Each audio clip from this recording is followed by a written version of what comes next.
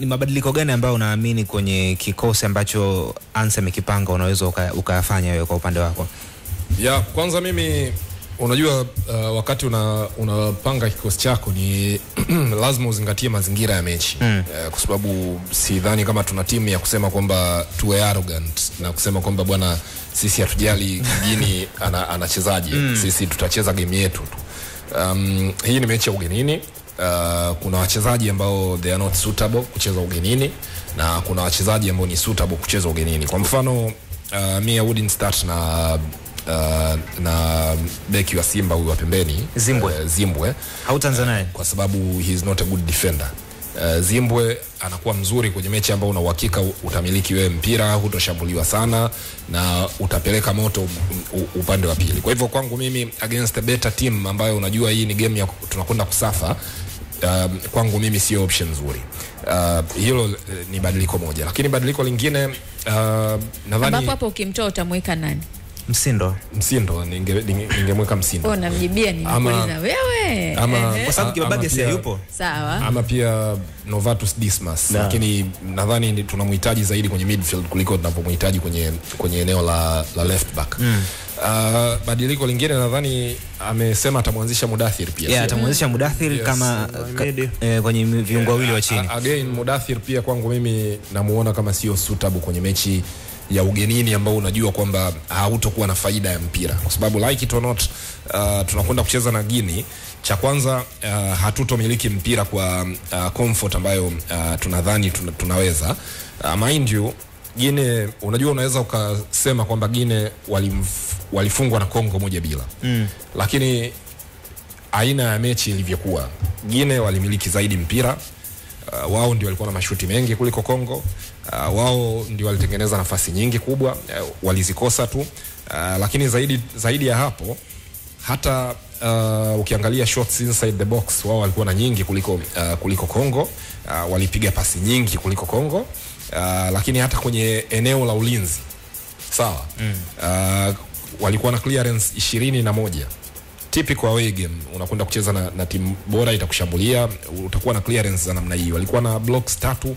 Uh, of course wa, wali, walikuwa na interceptions nusu ya zile ambazo uh, Congo walikuwa nazo lakini walikuwa na tackles nyingi pia ambazo walikamilisha kwa wastani wa asilimia 73 kwa hivyo unapata picha kwamba hii ni timu ya aina gani mm. ni timu ambayo of course wana, wana advantages nyingi kwanza wachezaji wao wana height eh, lakini pia wana discipline zaidi na wako more skillful kuliko wachezaji wetu kwa hivyo hii ni typical away game ambayo hatutomiliki zaidi mpira na tutakuwa na nafasi chache ambazo lazima tuhakikishe kwamba uwanjani tuna watu ambao ni clinical ambao mm, nafasi hiyo hiyo inayopatikana ndio hiyo hiyo inayochukuliwa mm. kwa hiyo kwangu mimi ningeubalance mchezo kwa kutumia mfumo wa 433 433 ambayo uh, kwangu timu itagawanyika mara mbili on and off the ball.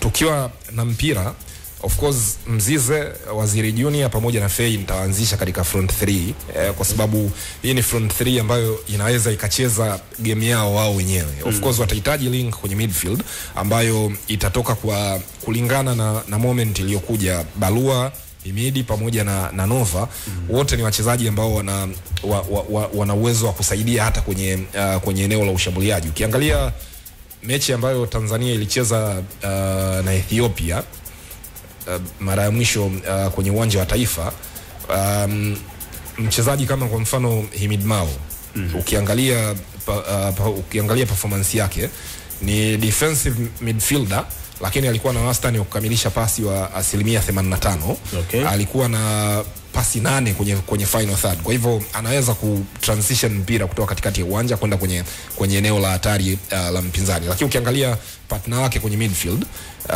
ambaye ni Novatus Dismas naye alikuwa na wastani mzuri wa pasi asilimia 87 uh, alikuwa na shot on target moja. Uh, alikuwa na passes kwenye final third kumi na nne. Kwa hivyo mm hawa wakicheza kwenye midfield utakuwa hauna issue ya, ku, ya kutransition mpira. Ukiangalia barua pia uh, naye uh, alikuwa na pasi moja lakini with more responsibility na, na, na kama mtu ambaye tunamtegemea kwenye, kwenye set pieces ni nafasi ambayo anaweza kucheza. Uh, my game plan itakuwa wachezaji hawa katikati lazima wawe very hard working, lazima wajitume, lazima wa, wa, wajitolee kwa sababu wao watakuwa na kazi ya kuongezeka kama extra defenders, kwa sababu tunahitaji uh, miili mingi kwenye eneo la ulinzi mm kulingana na kwa sababu Gine wakiwa wanacheza kwenye mechi ambayo ni ya kwao ya nyumbani no. ya, hata kama hawako nyumbani, lakini walipoteza mechi dhidi ya Kongo. Kwa hivyo obviously watachukua risks nyingi kwenye eneo la ushambuliaji okay, sawa kwenye hii mechi ambayo Unajua, Hebu- unajua hebu- moja kidogo tumalizie hapo alafu pia hajataja kikosi chake ametaja tu mabadiliko. Hebu tuende haraka haraka hapo Chief alafu yes, kwa hivyo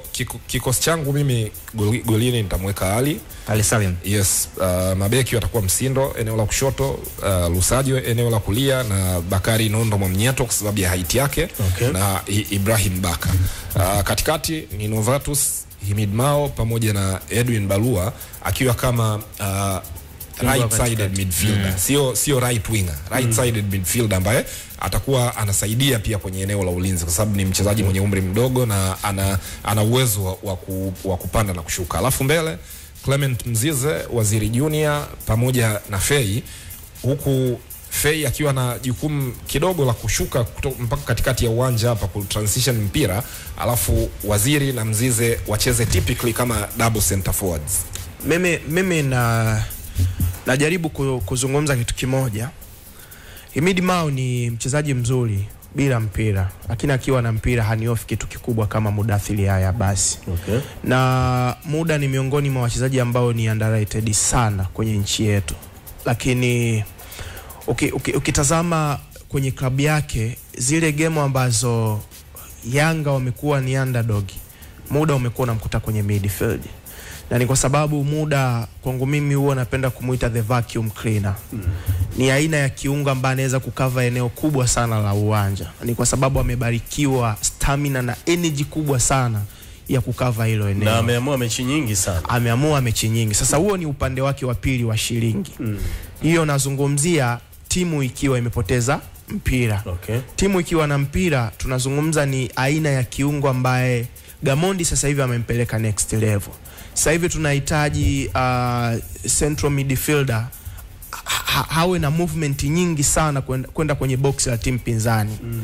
Tumeona muda anafanya hivyo vitu mara nyingi sana, na kule akienda sio anasimama tu kama ngongoti, no, anakwenda kuscore na kuassist mm, mm. yani ametuonesha hiyo accuracy. Tuliona Benchika anajaribu ku, ku, ku, kumpatia hiyo role Sadio Kanute, lakini Kanute ali, hakuwa na accuracy ya kuscore magoli kama ambavyo anafanya Mudathiri haya basi. Yeah, yeah. Kwa hiyo kwangu mimi muda ananipa kitu kikubwa sana bila mpira, lakini ananiofa pia kitu kikubwa tukiwa na mpira na unaweza ukatazama game mbili zilizopita za Stars. Mm. Game ya kwanza dhidi ya Zambia ambayo tulikuwa away, unajua muda alicheza vizuri sana first half yeah. kipindi cha pili alipata matatizo akatolewa, lakini alikuwa ni miongoni mwa wachezaji walioperform katika level ya juu sana ile first half dhidi ya Zambia, timu yenye quality ambayo pia ilikuwa inatudominate sisi mm. and then juzi tulipohitaji utelezi kwenye midfield, basi tulihitaji zaidi miguu ya Mudathiri haya basi, kwa sababu aweza kareceive mpira kwenye half turn and then ana uwezo wa kukota mpira kwamba kumanipulate mpira anautoa kwenye